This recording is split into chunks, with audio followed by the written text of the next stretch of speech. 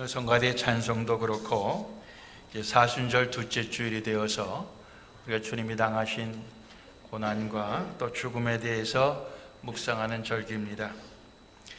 예, 오늘 말씀 가운데도 그런 내용이 나오고요.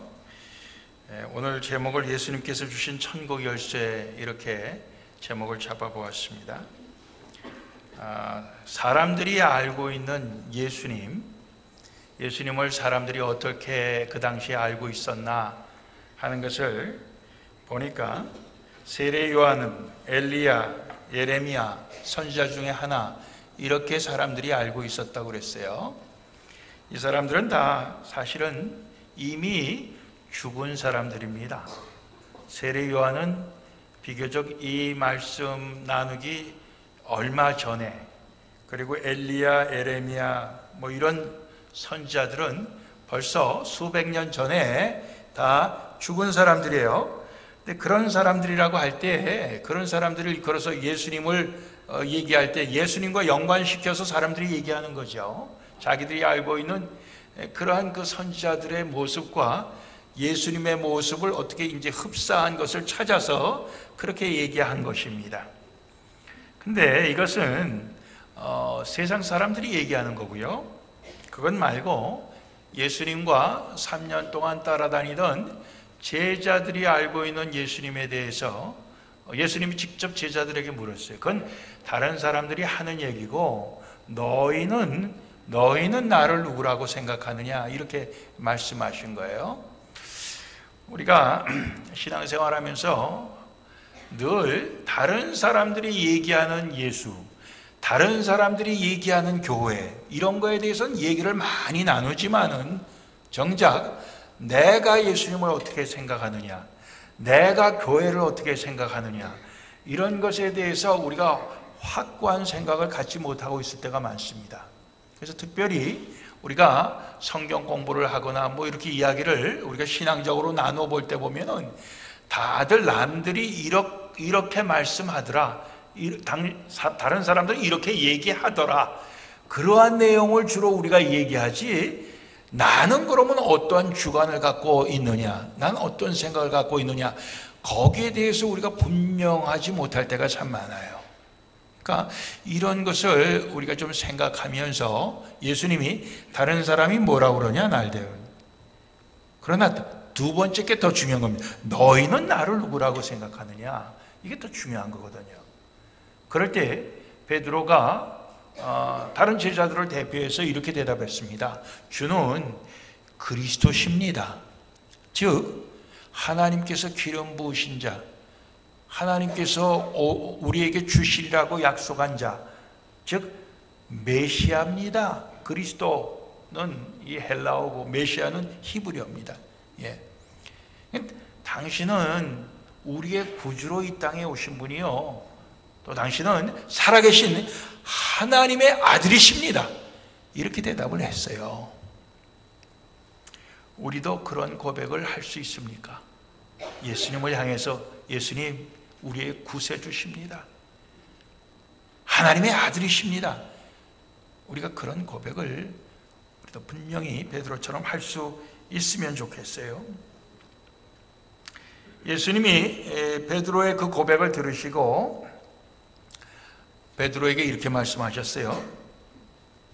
참 내가 복이 있구나.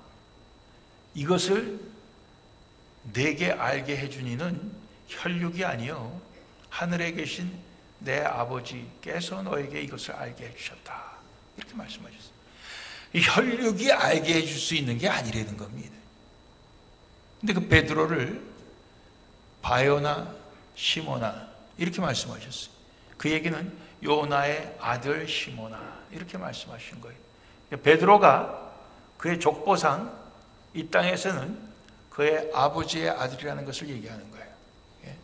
그렇지만 너의 이 땅의 아버지가 너를 그거 알게 해주신 게 아니고 하늘에 계신 아버지께서 이것을 너에게 알게 해주셨다. 그렇기 때문에 내게 복이 있다. 이렇게 말씀하십니다. 하늘의 아버지가 너에게 이것을 알게 해줬으니 내가 참 복이 있구나. 예수님 그렇게 말씀하셨어요. 그러니까 예수님이 그리스도시고 살아계신 하나님의 아들이시라 하는 그 고백이 맞다라는 정답을 말했다 하는 것은 벌써 건너뛴 겁니다. 예, 그건 벌써 그건 어, 넘어간 거예요. 그리고 내가 이렇게 대답할 수 있고 고백할 수 있는 그 자체는 참 내가 복이 있는 것이다. 이렇게 말씀하셨습니다. 그러면서 예수께서 특별히 베드로에게 너는 반석이다. 이렇게 말씀하셨어요. 내가 아, 반석인 너 위에 교회를 세우고 그 교회는 음부의 권세가 이기지 못하게 하겠다. 즉 지옥의 권세가 이기지 못할 그런 교회를 반석인 내 위에 세우겠다. 그리고 또 너한테 천국 열쇠를 주어서 내가 이 땅에서 매면 매이고 풀면 하늘에서도 풀릴 것이라. 어떻게 보면 이 땅에서 내가 열면은 하늘에서도 열리고 이 땅에서 내가 잠그면 하늘에서도 잠길 것이다. 그런 천국 열쇠를 내게 주겠다. 이렇게 말씀하셨어요. 그래서 어, 이 베드로의 그 형상을 캐톨릭은 이렇게 만들 때 꼭 베드로의 그 한 손에 이 열쇠를 쥐고 있는 모습으로 그렇게 조각을 만든다 그래요. 예. 아, 그런데 예수님께서 어, 이렇게 베드로에게 특별 대우를 해주셨는데 어, 그 바로 다음에 나오는 이야기를 보면은 어, 예수님께서 어, 내가 사람들에게 잡혀서 죽임을 당하고 제3일에 다시 살아나야 할 것을 어, 처음으로 가르쳤어요. 세 번 이 말씀을 하셨는데 그 중에 첫 번째 말씀을 하셨다고요. 그랬더니 베드로가 예수님을 붙들고 간하여 이렇게 말씀합니다. 주여 그리 마옵소서 이 일이 결코 주에게 미치지 아니하리이다. 아, 예수님에 대한 자기의 사랑 표현이고 예수님에 대한 어떤 충성의 표현입니다. 어, 이, 러한일 결코 주님이 당하지 않도록 하겠습니다. 이러한 각오 또그 가운데 담겨 있죠. 근데 예수님은 야, 참 내가 나를 향해 참 그렇게 마음 쓰는 것이 너무도 고맙구나. 이렇게 말씀하셨습니까?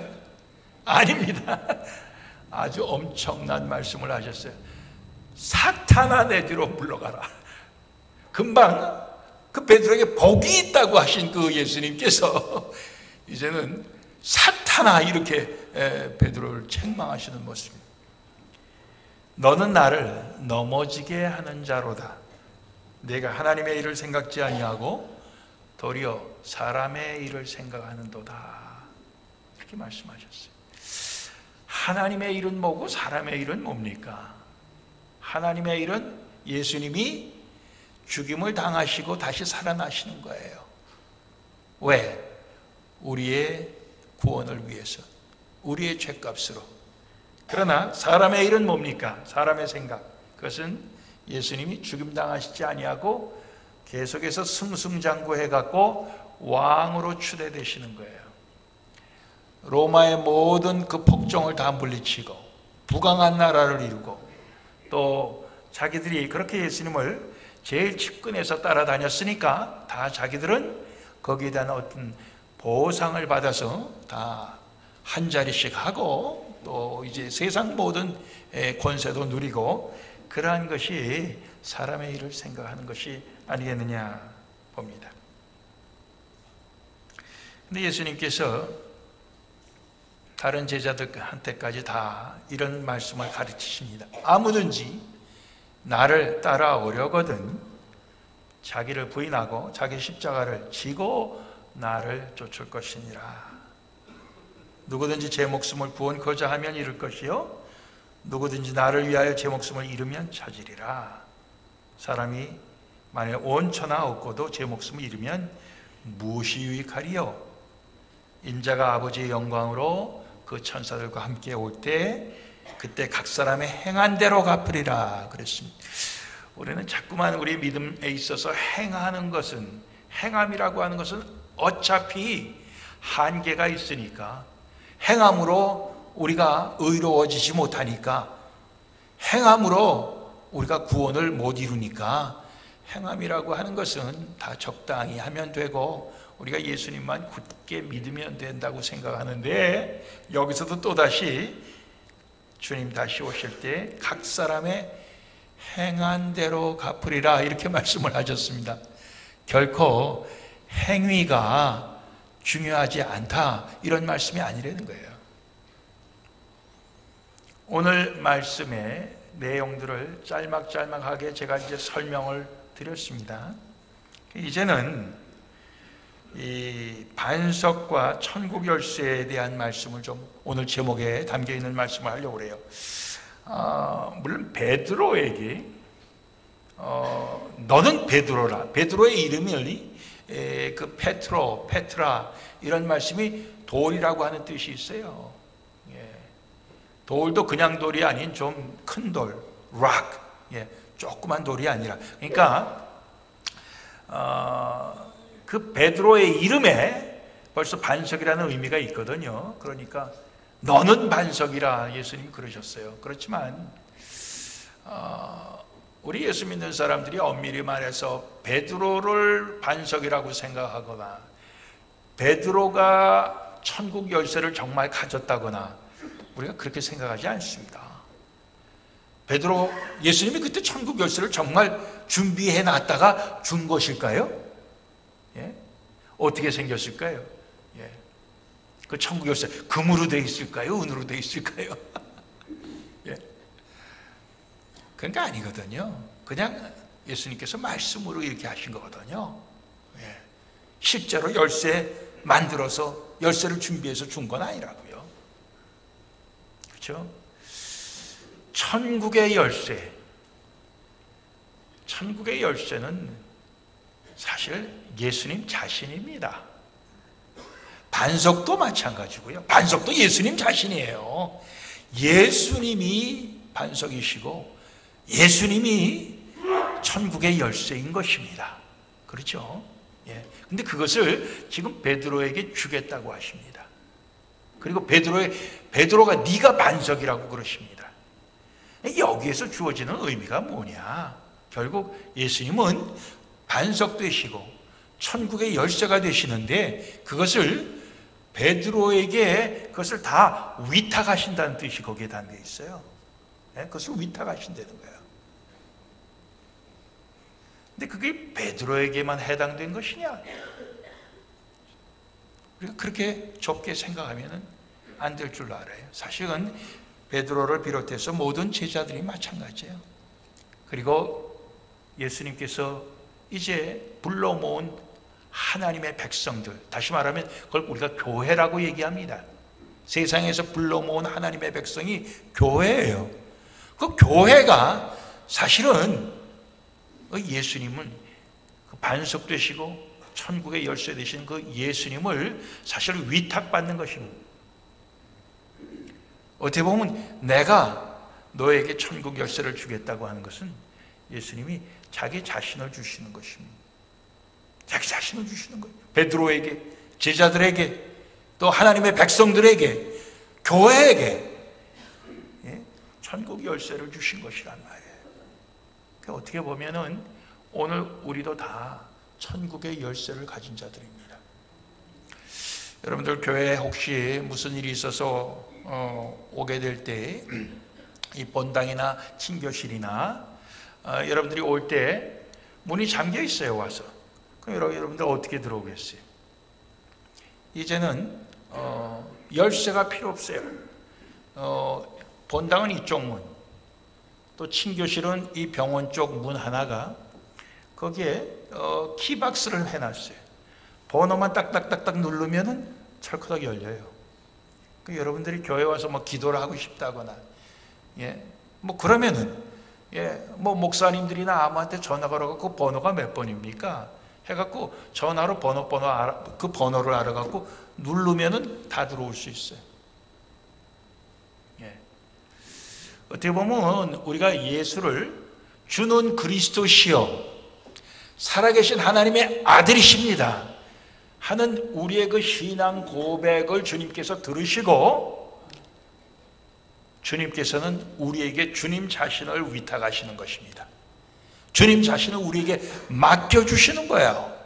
맡겨주셔갖고 이 세상을 향해 나가갖고 이 천국 문을 열어라 그 얘기예요. 예? 사람들에게 이 예수를 증거해서 이 예수를 갖고 예수를 나타내 보임으로 말미암아 세상 모든 사람들에게 천국 문을 활짝 열어주라 이런 말씀인 줄로 믿습니다. 그렇게 보면은 오늘 우리 모두가 천국 열쇠를 받은 것이요 천국 열쇠의 주인공 대신 예수님을 받았다는 것입니다. 예? 옛날 우리 어른들 보면은요 며느리가 들어오면은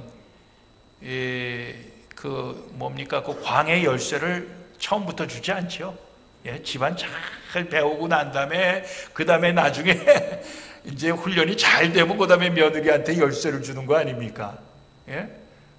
어떻게 보면은 예수님이 이제 제자들 한 3년 동안 훈련시키고 지금 그렇게 열쇠를 주는 것입니다. 오늘 우리가 신앙생활 하면서 이제 어느 정도 우리가 주님의 제자로서 정말 주님을 따르면서 살겠다고 할 때 주님께서는 우리에게 그런 열쇠를 우리에게 맡기시는 거예요. 예? 그 열쇠를 맡기시는 거예요.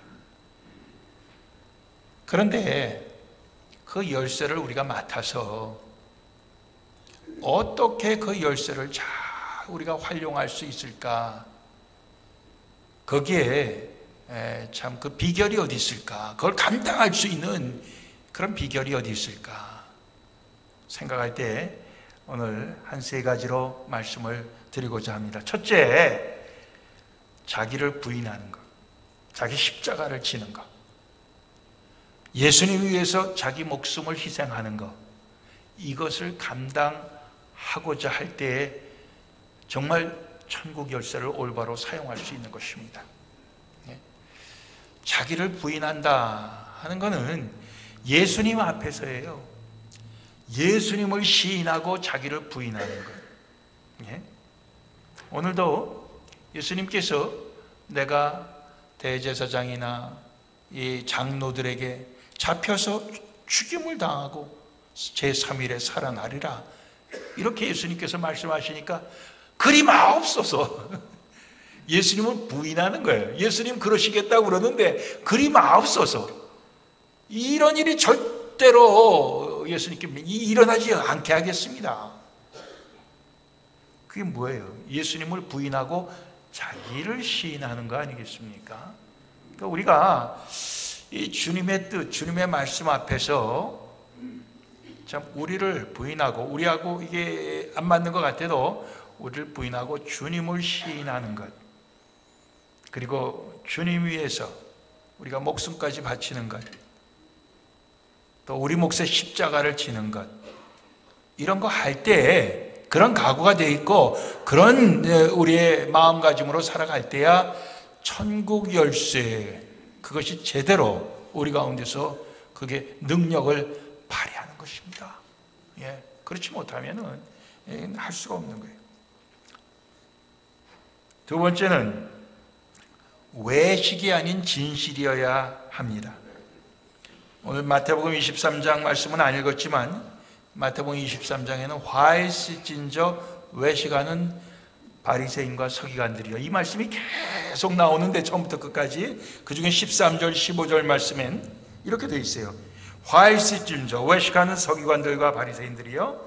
너희는 천국문을 사람들 앞에서 닫고 너희도 들어가지 않고 들어가려 하는 자도 들어가지 못하게 하는도다. 그랬습니다. 예. 또 15절에는 화에 쓸진저 외식하는 서기관과 바리새인들이요 너희는 교인 하나를 얻기 위하여 바다와 육지를 두루 다니다가 생기면 너희보다 너희보다 배나 더 지옥 자식이 되게 하는도다 그랬습니다. 13절에 나오는 말씀은 천국에 들어가지 못하게 한다. 15절에는 한 걸음 더 나가서 지옥 자식이 되게 한다. 지옥에 어, 들어가게 한다. 이렇게 말씀하고. 그 당시에 서기관과 바리새인들이 다 어, 어떻게 보면 종교 지도자들이에요. 그 사람들이 어떻게 보면 열쇠를 갖고 있는 사람들인데 이 사람들이 그 열쇠를 제대로 쓰지 않고 있는 모습, 그 제대로 쓰지 않고 있는 그 모습에 계속 반복되는 내용은 뭐냐면 외식하는, 외식하는, 외식하는, 계속 외식한다는 말이 나와요. 예. 그 외식한다고 하는 게 뭡니까? 이게 진실되지 못하는 거예요. 사람들에게 보이려고만 잘하는 거지, 진심으로 하나님 앞에서도 인정받고자 하는 그런 것이 없고, 사람들 눈만 가리는 거예요. 예? 그러려고 하는 것이라는 거예요.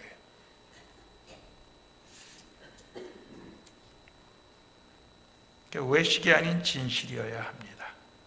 예. 하나님 앞에서도 부끄러움이 없는 예. 그런 것으로 우리가 하려고 할때 그때 천국 문을 우리가 여는 것입니다. 외식으로 할 때는 천국에 들어가지 못하게 하는 것도 끝나는 게 아니라 지옥에 더 밀어 넣는 배나 더 지옥 자식이 되게 하는도다. 왜 그렇습니까? 외식하는 모습을 사람들이 배우게 되기 때문입니다. 외식하는 모습을 흉내 내게 되기 때문입니다. 그렇기 때문에 우리가 예, 외식하는 척, 믿는 척, 하나님을 사랑하는 척, 그렇게 우리가 하게 될때 결국 우리 자식들도 그 척하는 것을 배우고 주변에 있는 사람들도 그 척하는 것만 배우다가 결국 천국을 못 들어가고 다 지옥에 들어가게 되는 것입니다. 그러니까 진실되어야 해요. 마지막으로는 사람의 아들로가 아니라 하나님의 아들로 사람의 일을 생각하기보다 하나님의 일을 생각하는 것으로 우리가 천국의 열쇠를 올바로 쓸 수가 있습니다. 오늘 바요나 시모나 내가 복이 있도다. 요나의 아들 시모나. 왜냐하면 내가 그리스도요 살아계신 하나님의 아들인 것을 내게 알게 해주니는 혈육이 아니요 즉 너의 아버지 요나가 아니요 하늘에 계신 내 아버지시기 때문이다 이랬습니다. 우리가 육신의 조상의 그 피를 갖고 있기 때문에 그 유전자를 갖고 있기 때문에 우리도 모르게 우리 육신의 부모님들의 그 모습을 우리는 다 드러내면서 삽니다. 그걸 우리가 좋아하는 것도 있고 싫어하는 것도 있는데 좋아하건 싫어하건 간에 다 우리에게 그 조상으로부터 내려오는 모습이 우리 가운데 다 있는 거예요. 근데 조상에게서 내려오는 지혜, 조상에게서 내려오는 어떤 특별한 재주, 이런 모든 것으로 우리는 천국의 열쇠를 쓸 수 있는 능력이 주어지는 게 아니라는 거예요. 하늘의 아버지로부터 내려오는 것이어야만 한다는 것입니다. 이걸 우리가 생각해야 돼. 그래서 우리 집안이 좋다. 이런 거 우리가 자랑해봐야 소용없어요. 하늘의 아버지로부터 내려오는 것이어야 된다는 거예요. 생각도 마찬가지예요. 23절 보면 사탄아 내 뒤로 물러가라. 너는 나를 넘어지게 하는 자로다. 내가 하나님의 일을 생각지 아니하고 도리어 사람의 일을 생각하는도다. 생각이라고 하는 건 우리 머리로 하는 거예요. 근데 우리 머리가 아주 그냥 발달되고 발달, 이 문명이 발달돼 세상이 깰수록 우리 머리가 얼마나 발달합니까? 아, 이거 우리 조그만 애들도 말이에요. 얼마나 요즘은 빨리빨리 깨이는지. 예, 말도 빨리 하고 또 이 컴퓨터 갖고 노는 거 보면 그냥 까무러치겠어요. 예. 두 살 간 넘은 우리 손녀딸이요. 이거 뭐 갖고 노는데 나도 못하는 걸 해요. 자, 정말 기가 막힙니다. 아. 근데 우리 어른도 마찬가지죠. 우리 머리가 얼마나 좋습니까? 예. 머리가 팽팽팽팽 돌죠. 근데 그것이 대부분 사람의 일을 생각하는 것으로 머리가 그렇게 잘 도는 거죠. 예. 이 생각이라고 하는 것은 순간적으로 여기에서 아무리 먼 별에까지 갔다 올 수 있는 것이 생각 아닙니까? 그렇게 빨리 왔다 갔다 합니다. 예. 여러분들 우리 시어머니 모시고 살았던 며느리들한테 한번 물어봅시다. 시어머니한테 시집살이 한 거, 예? 과거에 수십 년 전의 거를 갖다가 말이에요. 한번 생각하면 1초도 안 걸려서 그게 다 생각나지 않습니까? 이 생각이라고 한 건 그런 것입니다.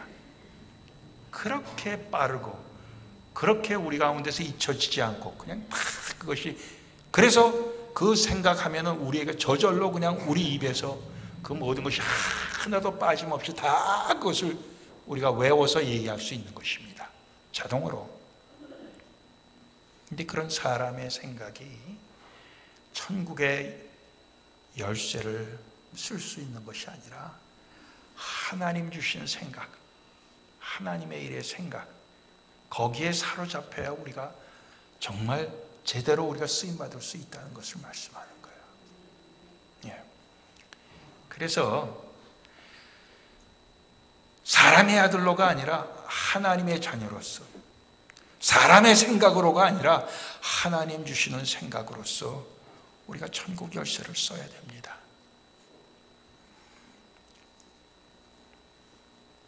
오늘 우리가 읽은 말씀 자기를 부인하고 나를 나를 따르려고 하면 자기를 부인하고 자기 십자가를 지고 날 위해서 자기 목숨을 잃어야 된다. 이 말씀 우리가 너무도 익숙하고 잘하는 말씀입니다. 늘 우리가 하기가 어려워서 그렇지. 근데 왜 이렇게 하기 어려운 부담스러운 말씀을 예수님께서 하셨나 보니까 우리에게 천국 열쇠를 주셔야 하기 때문에 이 말씀을 하신 거예요. 예? 우리가 천국 열쇠를 이 세상을 향해서 갖고 나가야 되기 때문에 이 말씀을 주신 거예요. 우리가 천국 열쇠를 갖고 나갈 때 그 말씀 없이는 이게 제대로 이게 열리지가 않는 거예요. 예? 나도 못 들어가고 남도 못 들어가게 할 수밖에 없는 그런 외식으로 빠질 수밖에 없는 거예요. 그래서 이 말씀을 주신 거더라고요. 오늘 우리가 예수를 믿으면서 왜 예수 믿습니까? 그저 세상에서 세상적인 부귀영화 누리려고 하죠. 잘 먹고 잘 살려고 그러지요. 내 자식들 잘 되려고 그러는 거지요. 우리가 이제 그렇게 얘기를 합니다. 뭐 그거 예, 그 자체가 나쁘다고 얘기할 수 없어요. 그러나 그것으로 끝나서는 안 되는 것입니다. 그것을 뛰어넘어서 예수님께서 우리에게 천국 열쇠를 맡겨주시는 그 뜻이 있는 거예요. 왜 그렇습니까? 세상에서 우리가 꿈꾸고 바라는 그것으로는 진정 예수님이 주시는 그 천국의 그 축복을 하나님 나라의 그 공의와 사랑과 평화와 이런 것을 우리가 도저히 맛볼 수 없기 때문에 그런 거 아니겠습니까? 오늘 우리 교회가 예수님을 믿어서 예수 믿는 사람들이 부여해지고 축복 많이 받고 했습니다. 그렇지만 그 축복 받은 것을 우리가 다른 사람들에게 정말 천국의 문을 여는 그러한 역할을 하는 자로 주님께서 우리에게 위임해 주신 그 세상에서 무엇보다도 감격스럽고 가장 보람 있는 그 사명을 감당하는데 쓰지 않는다고 하면은 우리는 결국 외식하는 자가 될 수밖에 없어요. 결국 우리는 다른 사람도 못 들어가게 하고 우리도 못 들어가는 그러한 결과를 할 수밖에 없는 거예요.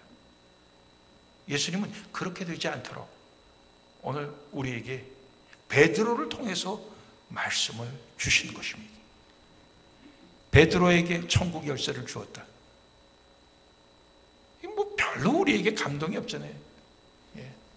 근데 그게 아니라 사실 우리 하나하나 예수를 그리스도로 고백하고 살아계신 하나님의 아들로 고백하는 우리에게 예수님께서 그 천국 열쇠를 주셨다는 거예요. 그리고 그것을 주님은 그것을 올바로 제대로 쓰기를 원하시기 때문에 이런 말씀을 하신 것입니다. 너를 부인해라.